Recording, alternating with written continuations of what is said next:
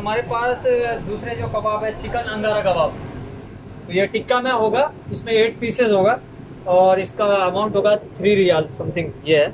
ये भी काफ़ी ज़्यादा पॉपुलर है, और जो इसे कुकिंग करते हैं, ये हमारे बंगाल से हैं, ताहिर ताहिर अली इनका नाम है। काफ़ी ज़्यादा अच्छा टेस्ट है इनके हाथ में।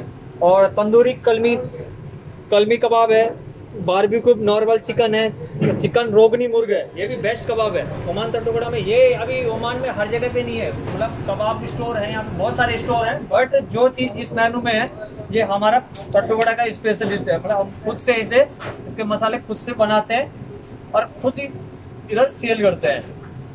और आप लोगों को बताऊँ, इसमें नॉर्थ इंडियन में हमारे पास पनीर बटर मसाला है, पनीर धनिया अदरक की है, कढ़ाई पनीर है पनीर बटर मसाला हो गया और बटर चिकन हो गया जो कि नॉर्मली चलता है यहाँ पे। और ये इधर भी दो एक? ये हमारे भाई केरला वाले ये है बंगाल वाले हैं। ये परोठा।